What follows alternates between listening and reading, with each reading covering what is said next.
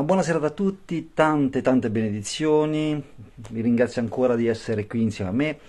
Questa sera è una sera particolare, non siamo in diretta dal centro familiare cristiano, ma siamo in un altro paese, a Doboi, e quindi da Doboi facciamo un saluto e veramente vogliamo ringraziare il Signore per tutto quello che ha fatto. Come detto prima, è un una serata un po' più particolare, quindi sicuramente non metteremo musica e nient'altro, ma vogliamo andare direttamente alla parola, quello che il Signore ha messo nel mio cuore questa settimana, vorrei condividerla con voi.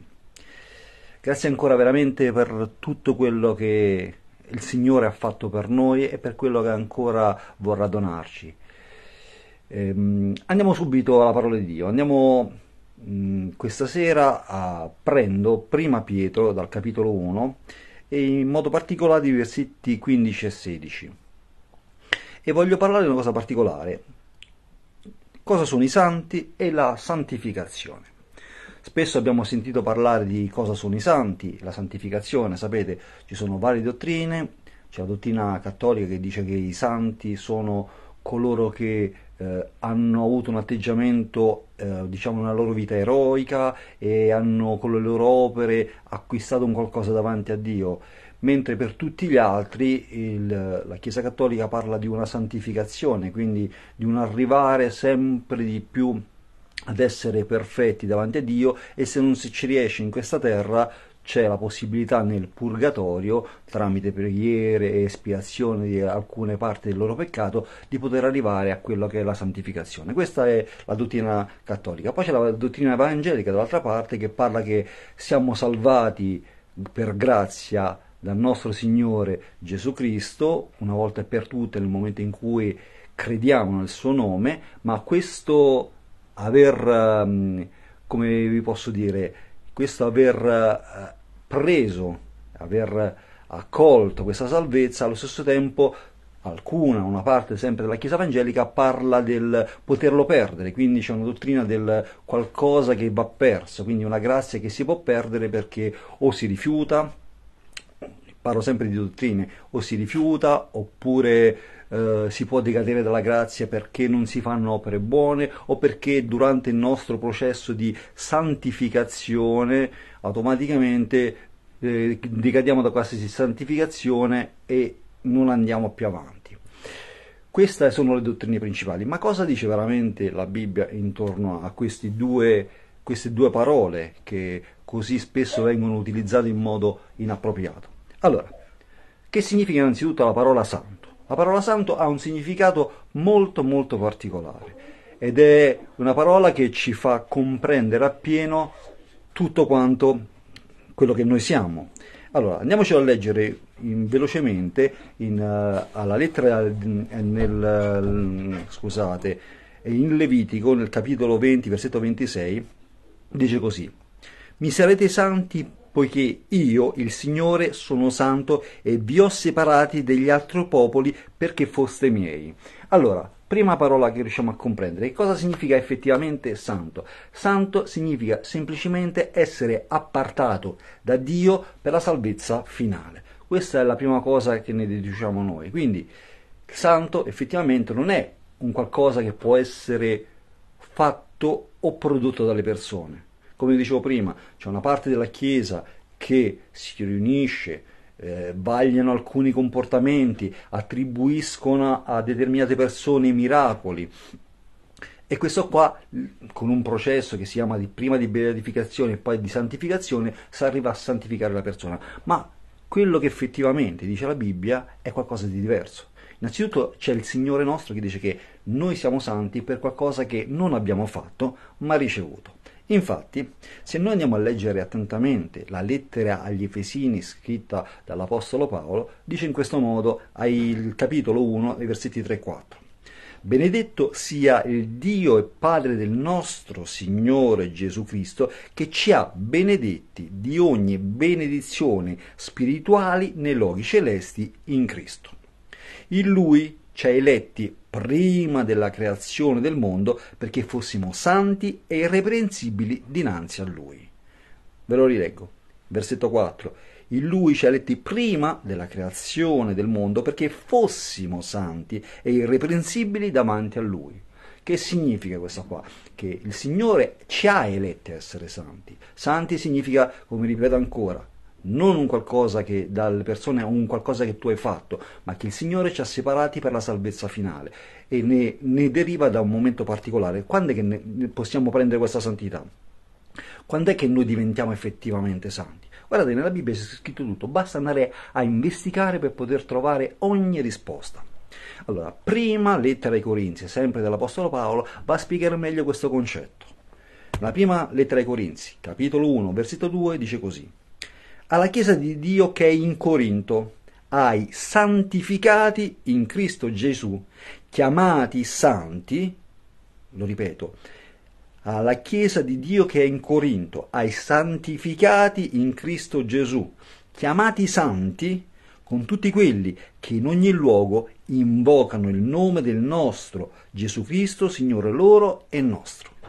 Ve lo ripeto ancora, quindi con tutti quelli che in ogni luogo invocano il nome del Signore nostro Gesù Cristo, Signore loro e nostro. Quindi nel momento in cui noi andiamo a invocare il nome del Signore, nostro Gesù Cristo, allora noi abbiamo automaticamente diventiamo quello che dice la Bibbia santi. È il Signore stesso che ci santifica. Santifica significa che ci apparta per la salvezza finale.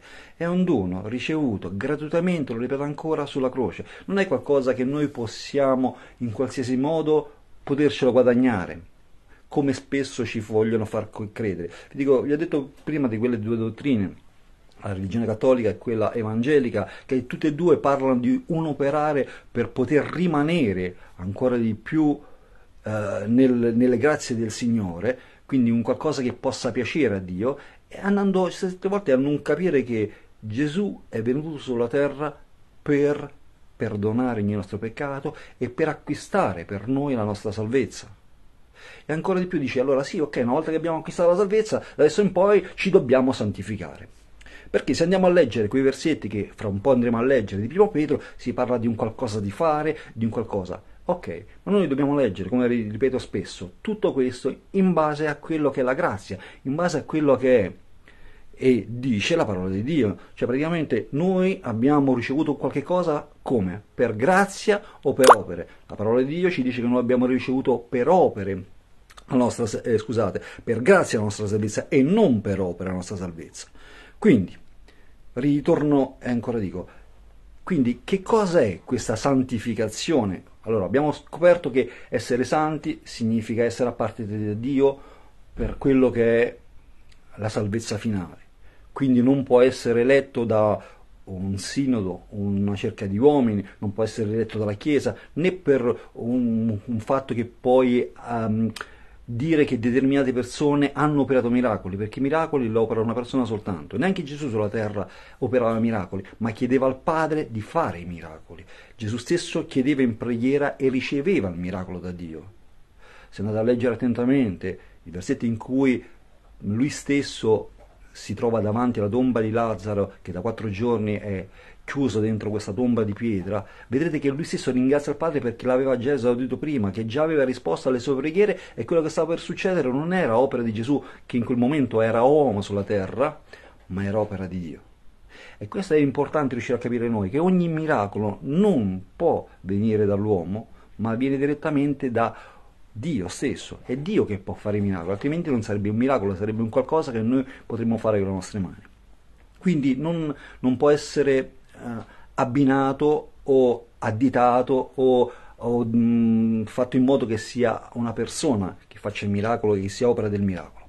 Allora, vi stavo leggendo prima la let- prima lettera di Pietro. La lettera di Pietro, ve la dico subito, principalmente le lettere di Pietro e le lettere di Giovanni sono scritte per gli ebrei principalmente, ma dopo, successivamente, parte di queste lettere sono anche state indirizzate a noi, sono anche indirizzate a noi che siamo subentrati successivamente a, a quella che era eh, la, il, il, ministero di Gesù, praticamente Gesù era arrivato per salvare solo ed esclusivamente il popolo degli ebrei che Dio stesso si era acquistato, un popolo che si era acquistato in mezzo ai tanti popoli che facevano idolatria. Noi, noi che in quel periodo eh, siamo e noi che oggi siamo rispetto a quel periodo antenati dei romani che adoravano dei, facevano sacrifici umani come tutti gli altri popoli, eravamo lontani dalla salvezza. Ma grazie a tanti ebrei che hanno rifiutato, grazie, lo ripeto ancora, hanno rifiutato il dono della grazia che stava per loro rivelando, ci sono tante parabole che Gesù ne parla, ne fa, ci fa capire molto apertamente, quella del matrimonio è una delle migliori che ci fa capire che ci sono tanti invitati, gli invitati non erano pronti, allora questo signore manda a prendere quelli che non erano stati invitati, quindi dicendo che sarebbe arrivata anche a noi successivamente la possibilità di ricevere la grazia. E allora, come dicevo, questa lettera che principalmente era scritta quindi per i suoi fratelli ebrei, successivamente è anche scritta anche per noi che siamo credenti. Ve la vado a leggere. Pietro, apostolo di Gesù Cristo, agli eletti che vivono come forestieri dispersi nel Ponto, nella Galizia, nella Cappadocia, nell'Asia e nella Bitinia, eletti secondo la prescenza di Dio Padre, mediante la santificazione dello Spirito, a obbedire, a essere cosparsi del sangue di Gesù Cristo, grazie e pace vi siano moltiplicate. Questo era il primo saluto iniziale. Poi, benedetto sia il Dio e Padre del nostro Signore Gesù Cristo, che nella sua grande misericordia ci ha fatti rinascere a una speranza viva mediante la, risur- la risurrezione di Gesù Cristo dai morti. Per un'eredità incorruttibile, senza macchia e inalterabile. Ve lo ripeto, versetto 4 per, affinché noi abbi- abbiamo una eredità incorruttibile, quindi un'eredità che non può essere corrotta da niente, neanche dal peccato, e questa si chiama grazia. Senza macchia, quindi non avremo più macchia, peccato come dico prima non può più toccarci, è inalterabile nel tempo, non ci può essere più un'inalterabilità, una volta ricevuta la grazia, una grazia è eterna, l'eterno significa che una volta ricevuto non lo puoi più perdere, è una cosa che dura per sempre, non è un inizio, non è più una fine. Nel momento in cui tu rinasci, la creatura che sei su questa terra, a figlio di Dio, passi dalla vita terrena che ha una sua durata a una vita eterna che dura per sempre, che non ha inizio e fine. E in quel momento tutto di te viene cambiato, modificato, trasformato di nuovo, ad opera di un qualcosa di particolare, che è lo Spirito Santo che il Signore ha messo dentro di noi. Ed è lo Spirito Santo che ci santifica. Lo ripeto, la santificazione che spesso tante chiese dicono che, no, che dobbiamo noi santificarci, è un'opera prettamente fatta dallo Spirito Santo. Infatti, se leggete Galati 5:22, dirà che l'opera dello Spirito Santo o il frutto dello Spirito Santo è amore, gioia, pazienza, magnitudine, benevolenza, eccetera, eccetera, eccetera. È un'opera, il frutto dello Spirito Santo, non il frutto nostro, non è il frutto delle nostre opere, ma è a, cagione, a favore di quello che ci è stato dato dallo Spirito Santo. Quindi è lo Spirito che dentro di noi, una volta che entra, che noi abbiamo accettato Gesù Cristo e entra dentro di noi, da quel momento in poi l'opera dello Spirito comincerà piano piano in base a quanto noi glielo permettiamo in quel momento, a far crescere dentro di noi quei frutti meravigliosi che Dio ha preparato per ognuno di noi. E automaticamente noi possiamo godere di quello che Dio sta facendo per noi, perché è Dio che ci sta trasformando sempre di più a somiglianza di suo figlio. E non siamo noi che ci trasformiamo a somiglianza di Gesù Cristo, ma noi siamo quello che ci dobbiamo lasciare trasformare da Cristo. Noi dobbiamo stare nel suo riposo per essere trasformati. E spesso e volentieri la Chiesa ci dice che la Chiesa, o quello che fino ad oggi eh, sono stati gli insegnamenti fatti oggi a noi, dice che noi ci dobbiamo sforzare per cambiare, per essere trasformati, dobbiamo fare di più, dobbiamo fare di più. E questo risulta essere un'opera davanti a Dio. Quindi l'opera della croce va a morire perché noi andiamo a fare una nostra opera per cercare di guadagnarci qualcosa in più. Invece l'opera di Dio è completa, nel momento in cui Gesù è andato sulla croce, ci ha acquistato una redenzione completa. Guardate, tutto questo è scritto nella Bibbia. Non è che me lo sto inventando. Adesso piano piano andrò a leggere gli, ultimi, gli altri versetti che andranno avanti di Prima Pietro e vi leggerò altri due versetti presi da altre due eh, lettere. Allora, diciamo versetto, mm, siamo al versetto 4 della prima lettera di Pietro. Quindi, per una verità incorruttibile, senza macchia, inalterabile e, e conservata cieli per voi, e dalla potenza di Dio siete custoditi mediante la fede, e dalla potenza di Dio, ripeto, siete custoditi, quindi è Dio che ci custodisce tramite la sua potenza, mediante la fede. Io ho fiducia nel Signore che lo sta facendo e il Signore lo sta facendo, per la salvezza che sta per essere rivelata negli ultimi tempi. La salvezza che abbiamo già ricevuto, ma verrà rivelata perché ritornerà il Signore e dice che rapirà la sua Chiesa in un batter d'occhio. Poiché voi esultate ancora se per ora, per un breve tempo, è necessario che siate affitti da svariate prove, affinché la vostra fede, che viene messa alla prova, che è ben più preziosa dell'oro che perisce, è tuttavia provato con il fuoco, siano motivo di lode, di gloria e di onore al momento della manifestazione di Gesù Cristo. Che cosa significa questa essere provata? Dici, allora dobbiamo stare sotto, sotto la continua persecuzione e tutto quanto? No, tranquilli, sereni. Essere provato significa semplicemente che ogni giorno arriverà il nostro avversario a metterci nel dubbio che noi siamo stati già salvati per grazia e metterci nel dubbio che noi dobbiamo guadagnarci in qualche cosa. E quella è la nostra perseveranza. Non è nient'altro di quello. Infatti il Signore dice che il mio gioco è leggero. Se noi non prendiamo questo gioco leggero ma andiamo a fare qualcosa per cercare di migliorare quello che è qualcosa di semplice meraviglioso, unico, già donatoci, automaticamente non ci godiamo di quel meraviglioso dono che è la grazia che ci è stata data dalla croce di Gesù. Questa è la meraviglia della grazia. Guarda, l'Evangelo è una cosa semplicissima. Gesù, il nostro Dio, che era figlio insieme al Padre, Padre, Figlio e Spirito Santo, che vivevano, era un'unica, un'unica entità che si manifestava, che si manifesta in tre modi differenti, scende, quindi dice la stessa Bibbia che si leva la sua deità, abbandona la sua deità pur di poter scendere in mezzo alla sua creatura. Noi, per venirci a salvare.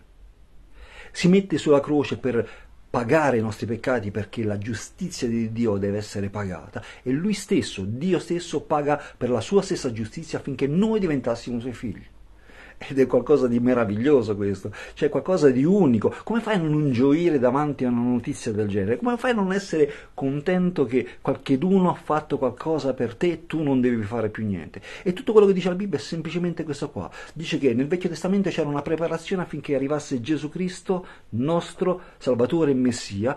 Gesù Cristo è arrivato e sulla croce ha compiuto tutto quello che noi dovevamo compiere al posto suo l'ha fatto al posto nostro affinché noi non dobbiamo fare più nulla, ma goderci di tutte le benedizioni, come dice la parola stessa, che lui già ci ha dato. Prima ancora che noi fossimo creati o che pensavamo di essere creati. E questo è successo duemila anni fa sulla croce, quindi tu e io oggi che siamo qui davanti possiamo solo godere di quello che lui ha già fatto. Il peccato per noi che crediamo in Gesù Cristo automaticamente è stato tolto già duemila anni fa, quindi qual è il peccato che potrebbe oggi farmi perdere la salvezza, potrebbe farmi non essere più santo, santificato. Non ci può essere più peccato, altrimenti nessuno di noi potrebbe usufruire di essere santo o santificato. Allora, siamo ancora al versetto 7. Eh, allora, versetto 8. Benché non l'abbiate visto, voi l'amate, credete in lui, benché ora non lo vediate, voi esultate di gioia ineffabile e gloriosa. Eh, è veramente ineffabile e gloriosa quello che risultiamo, ottenendo infine la fede, la salvezza delle anime. Infine, la cosa che otteniamo, la cosa più bella di tutte quante, è la salvezza delle nostre anime. Attorno, intorno a questa salvezza indagarono e fecero ricerche i profeti che profetizzarono sulla grazia a voi destinata cioè, riusciamo a capire che nel Vecchio Testamento c'erano tanti profeti che investigavano per cercare di scoprire che cosa significava la grazia, perché non avevano ancora visto Gesù, non avevano visto cosa sarebbe accaduto, come avremmo noi potuto godere di questa grazia. Versetto 11. Essi cercavano di sapere l'epoca e le circostanze in cui faceva riferimento lo Spirito di Cristo che era in loro quando anticipatamente testimoniava delle sofferenze di Cristo e delle glorie che dovevano seguirle. Guarda, qua potremmo predicare per giorni e giorni, dai, dai re magi che arrivano sulla terra che l'hanno previsto, dallo stesso a Abramo che aveva previsto Gesù sulla croce e tante altre situazioni meravigliose scritte nel Vecchio Testamento. Versetto 12. E fu loro rivelato che non per se stessi, ma per voi, quindi per noi, amministravano queste cose che ora vi sono state annunziate da coloro che vi hanno predicato il Vangelo, mediante lo Spirito Santo inviato dal cielo, cose nelle quali gli angeli bramano per entrare con i loro sguardi. Cioè, riuscite a capire la meravigliosità dell'Evangelo, di quello che ha fatto Gesù Cristo? Gli angeli bramano, vogliono riuscire a comprendere quello che noi abbiamo ricevuto come rivelazione, che abbiamo compreso, che per fede riceviamo ogni giorno, che è la grazia, qualcosa di meraviglioso e perfetto. Versetto 13, ci avviciniamo ai versetti che dicevo prima. Perciò, dopo aver predisposto la vostra mente all'azione, quindi predisporre la nostra mente, perché è nella mente che viene il combattimento più grande contro il nostro avversario, che è il diavolo. Il diavolo che cerca di mettere in dubbio che noi abbiamo già ricevuto queste cose, che noi abbiamo già ricevuto la grazia di Dio, che noi ce la dobbiamo guadagnare ancora, che noi possiamo perdere tutto questo. E tante dottrine hanno preso, per, hanno preso perché sono state ingannate, non perché non, tanti fratelli non, non, erediteranno il regno dei cieli. No, no, io sono sicuro che tanti fratelli erediteranno il regno dei cieli, sia cattolici che evangelici, e indifferentemente da quale sia la denominazione. È che queste dottrine tendono a farci vivere male, perché non riusciamo a comprendere l'immensità del dono ricevuto dalla croce per ognuno di noi, quello che noi abbiamo già ottenuto, che è la benedizione e la grazia, qualcosa di incredibile, la santificazione già ottenuta. Vado ancora avanti. Allora, Versetto 14. Come figli obbedienti, non conformatevi alle passioni del tempo passato, quando eravate nell'ignoranza. Prima noi ignoravamo tante cose perché non conoscevamo la grazia di oggigiorno. Quindi eravamo disubbidienti per questo motivo. Versetto 15. Ma colui che vi è chiamato è santo, anche voi siate santi in tutta la vostra condotta, poiché sta scritto siate santi perché io sono santo. Letta così sembrerebbe quasi che noi dobbiamo essere santi per essere per ottenere qualcosa dal Signore. Ma qua stava parlando di qualcosa di particolare. Siate santi perché io sono santo. Voi siete già santi e l'avete già ottenuta questa santità. Ve lo faccio leggere in modo un po' meglio. Se andiamo a leggere, vi vado a leggere altri due versetti, presi uno da Prima Corinzi, capitolo 6, versetti 9 a 11, e l'altro da Tito 3:3. Così andiamo a concludere questa predicazione. Allora, Prima Corinzi, capitolo 6, versetto 9 e 11. Non sapete che gli ingiusti non erediteranno il regno di Dio? Attenzione, gli ingiusti. Chi sono gli ingiusti? Quelli che non sono giusti. Chi sono gli ingiusti? Le persone del mondo. Tu e io siamo figli di Dio, non siamo più ingiusti. Attenzione a quello che dirà successivamente questo versetto. Guardate, allora, non sapete che gli ingiusti non erediteranno il regno di Dio? Non vi lo dite né fornicatori, né idolatri, né adulteri, né femminati, né sodomiti, né ladri, né avari, né ubriachi, né oltraggiatori, né rapinatori. Rapinatori erediteranno il regno di Dio. E qua sta parlando del mondo. E tali eravate alcuni di voi. E così eravamo alcuni di noi parlando a noi, attenzione che anche voi prima eravate così, ma siete stati lavati, siete stati, è messo nel passato, non sarete lavati o ti dovrai lavare, siete stati lavati, siete stati santificati, sempre il passato, non ti dovrai santificare, siete stati santificati. Da che cosa? Dallo Spirito Santo che il Signore ha messo dentro il nostro Tempio. Dal momento in cui Gesù sulla croce pronuncia, dice la parola, tutto è compiuto, succede una cosa particolare. Il velo che era nel Tempio si strappa dal sopra a sotto, quindi dall'alto in basso, e Dio finalmente, che era rilegato dietro questo velo, quindi quel velo che è il simbolo del peccato, può rompere il peccato e finalmente può arrivare a noi. È Dio stesso che viene da noi e non siamo noi che andiamo da Lui. Ed è meraviglioso perché in, in Apocalisse 3, capitolo 20, dice che il Signore alla, boss, alla porta del nostro cuore sta bussando e chiunque aprirà questa, questa porta, il Signore arriverà dentro di noi e cenerà con noi. E il cenare nel passato stava a indicare una cosa semplicissima, creare un patto con la persona in cui si, si metteva a sedere insieme, fare un nuovo patto, nuovo patto, nuovo testamento, il testamento nuovo qual è? La grazia ricevuta. Allora, quindi, ripeto ancora, e tali eravate alcuni di voi, ma siete stati lavati, siete stati santificati, siete stati giustificati, quindi resi giusti, nel nome del Signore Gesù Cristo e mediante, che cosa? Lo Spirito del nostro Dio. È lo Spirito che ci rende giusti, giusti. È lo Spirito Santo che ci rende giusti, santificati dallo Spirito Santo, come dicevo prima, Galati 5:22, il frutto dello Spirito e non il nostro frutto, quel frutto meraviglioso è dato dallo Spirito Santo, quindi la santificazione arriva dallo Spirito Santo che è già dentro di noi. Andiamoci a leggere per ultima, lettera di Tito, capitolo 3, versetto 3, dice così, fino al versetto 7. perché anche noi un tempo eravamo insensati, ribelli, traviati, schiavi di ogni sorta di passione e di piaceri, vivendo nella cattiveria e nell'invidia, odiosi e odiandoci a vicenda. Questo eravamo noi anche nel passato.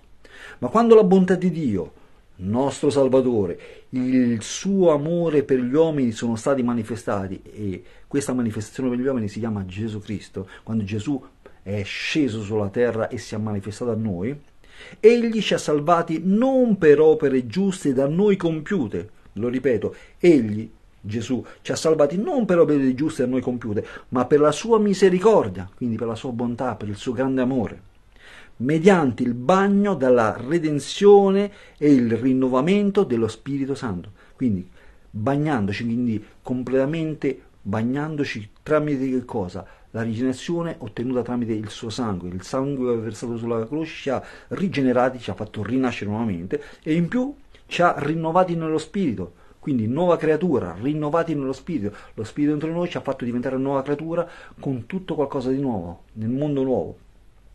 Egli, allora ripeto ancora, ve lo vado a rileggere il versetto 5, egli ci ha salvati non per opere giuste da non compiute, ma per la sua misericordia mediante il bagno della rigenerazione e del rinnovamento dello Spirito Santo, che egli ha sparso abbondantemente su di noi per mezzo di Cristo Gesù, nostro Salvatore, affinché, affinché giustificati dalla sua grazia, giustificati al passato, non, non sarete giustificati, ma giustificati dalla sua grazia, diventassimo in speranza eredi di vita eterna. Siamo eredi di vita eterna. Siamo e abbiamo ereditato la vita eterna. Non c'è nient'altro che possiamo fare. Siamo eredi della vita eterna.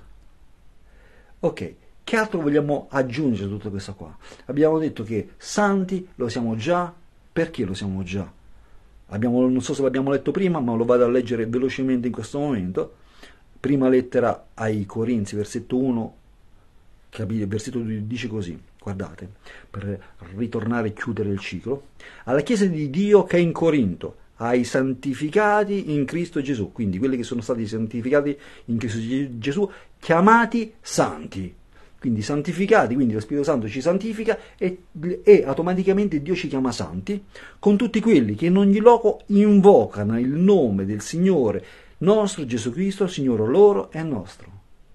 Attenzione, l'aver invocato, l'aver chiesto, l'aver riconosciuto che Gesù è il nostro Salvatore ci rende figli di Dio e nuova creatura. Nel momento in cui tu credi in questo, ricevi da Dio una nuova vita, una nuova speranza e diventi ve lo dico in modo un po' diverso, differentemente da quando dicono determinate dottrine, diventi automaticamente santo e santificato. Una buona sera a tutti, se vi è piaciuto condividete questo video con i vostri amici, conoscenti, perché un, una speranza è questa, e la nostra speranza nella vita è questa qua, che il Signore ci ha dato un qualcosa che noi meritiamo e noi siamo contentissimi, che è la grazia e il momento in cui saremo tutti in cielo potremo veramente godere di quello che ancora oggi non riusciamo a vedere tutti insieme. Una benedizione a tutti, alla prossima, ciao ciao dalla Bosnia, a tutti.